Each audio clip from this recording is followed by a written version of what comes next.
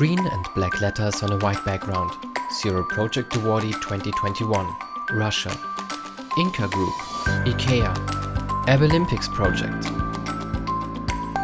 Solving social issues to increase job opportunities. What is IKEA Abilympics project about? Darya Lozinskaya, co-worker. In Russia, there are 12 million people with disabilities, and only 8% of them are employed, which is a small number.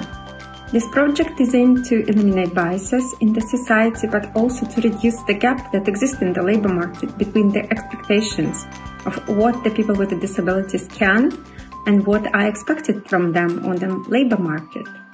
That's why we have chosen Abilympics movement to be our strategic partner because it shares our values, it's of a huge scale, and also has a very good government support. How does IKEA Abilympics project work? In Russia, we have taken a very systematic approach, and Abilympics has been a part of that, where we have trained our leaders and our co-workers to be more open to handicapped people or to disabled people, and to understand and to take away these biases that we many times have, and really open up our psyche to be ready to include more people. What is unique and innovative about IKEA Abilympics project? The project has become a good example of the partnership between the business, government, NGOs and trade unions and educational institutions and they all help in to create an inclusive environment for successful employment of the people with disabilities in Russia. What is next for IKEA Abilympics project?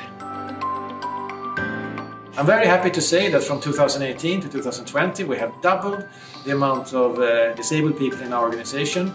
Done a huge step, but still it's only the beginning. And hey, all of us, together we can make a huge difference to the many people by being more open and inclusive and allowing for differences in our workplace. You know why? Because it's better business and it's the right thing to do.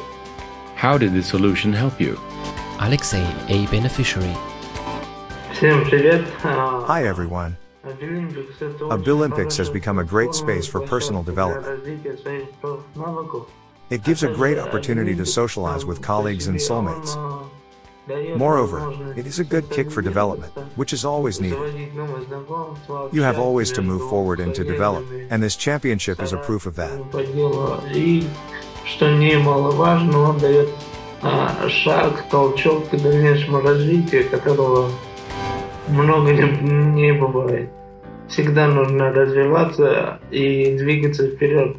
Что о чем дает понять этот замечательный конкурс. Zero Project for a world without barriers.